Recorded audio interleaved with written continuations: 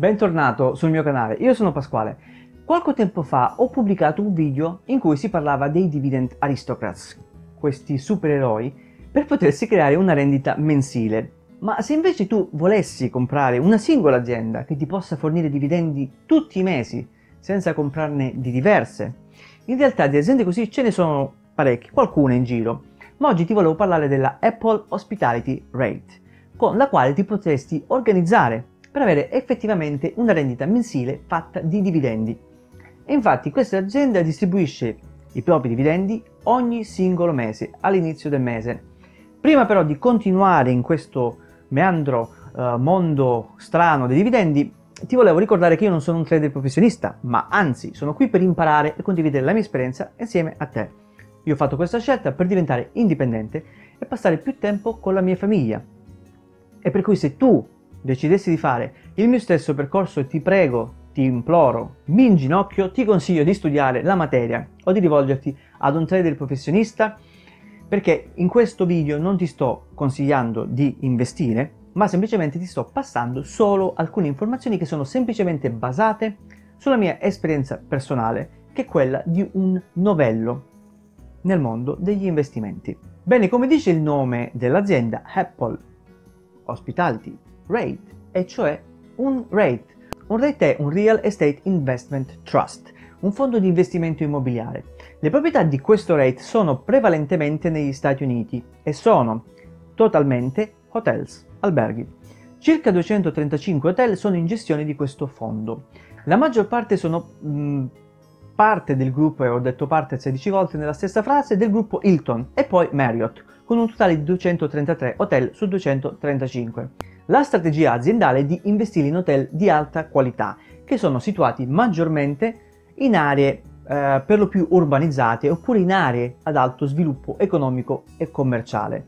Per cui si tratta di un business che è ben integrato nel panorama americano. Gli hotel vengono gestiti in più di 34 stati alla data di oggi nella quale sto preparando questo video.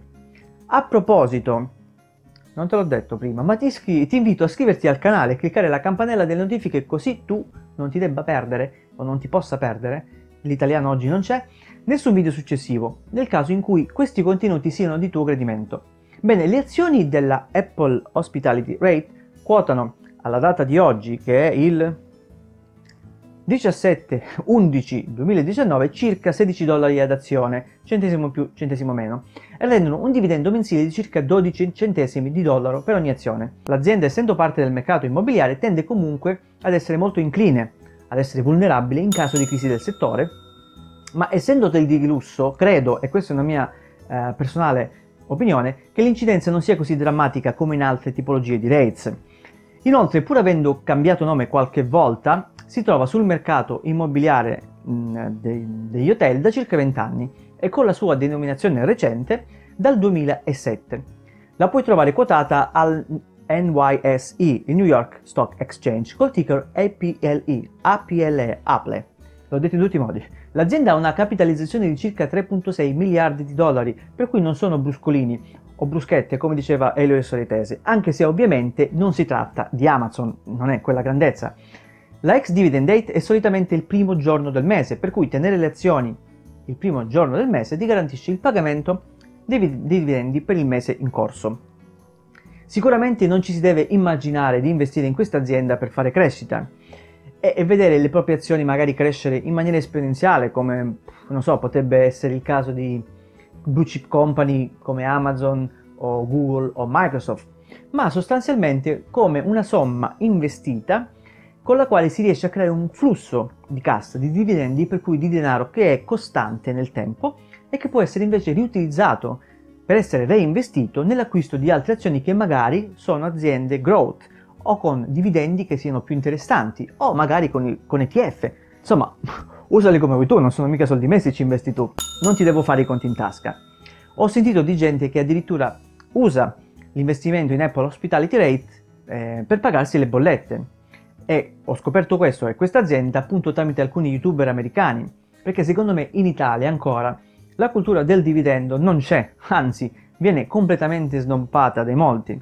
Io invece vedo che le aziende che distribuiscono dividendi abbiano una serie di vantaggi, se ovviamente questi dividendi sono sostenibili dall'azienda stessa nel tempo, in quanto le fanno avere un maggiore flusso di cassa, una maggiore stabilità, in funzione del fatto che se loro decidessero a un certo punto per difficoltà economiche di levare i soldi, avrebbero questo flusso di cassa da utilizzare.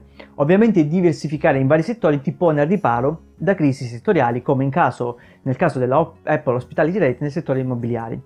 Sicuramente questa azienda finirà nel mio portafoglio perché credo che sia un buon investimento appunto per avere una certa liquidità mensile nel tempo e che possa essere eh, riutilizzata per altri scopi.